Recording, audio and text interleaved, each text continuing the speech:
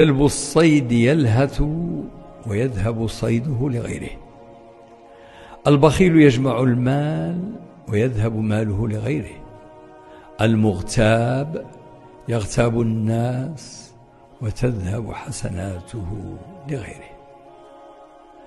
أربع قواعد اجعلها أساس حياتك. لا تتغير لإرضاء الناس. لا تتلون لنيل إعجابهم. لا تتبدل بسبب فشل ولا تتكبر بسبب نجاح. أجمل الأرزاق ليس رزق المال بل إن أجمل الأرزاق سكينة الروح ونور العقل وصحة الجسد وصفاء القلب وسلامة الفكر ودعوة أم وعطف أب ووجود أخ وضحكة ابن واهتمام صديق ودعوة محب في الله. صاحب الصالحين فإنهم إذا غبت عنهم فقدوك وإذا غفلت نبهوك. وإذا دعوا لأنفسهم لم ينسوك هم كالنجوم. إذا ضلت سفينتك في بحر الحياة أرشدوك. وغدا تحت العرش ينتظروك.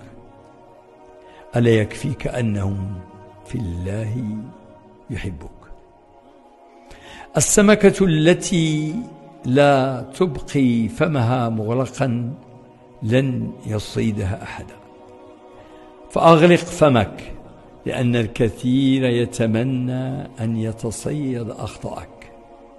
وكن كالمطر أينما يقع ينفع. ولا تقل إن الدنيا تعطيك ظهرها فربما أنت الذي تجلس بالعكس.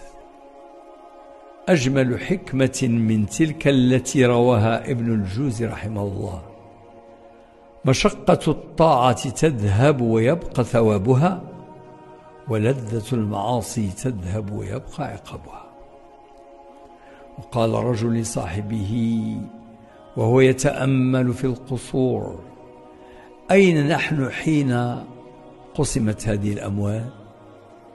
فأخذه صاحبه للمستشفى وقال له وأين نحن حين قسمت هذه الأمراض؟ إذا فاحمد الله على كل حال وفي كل وقت. الحمد لله على نعمه وفضله. إذا أتعبك ألم الدنيا فلا تحزن.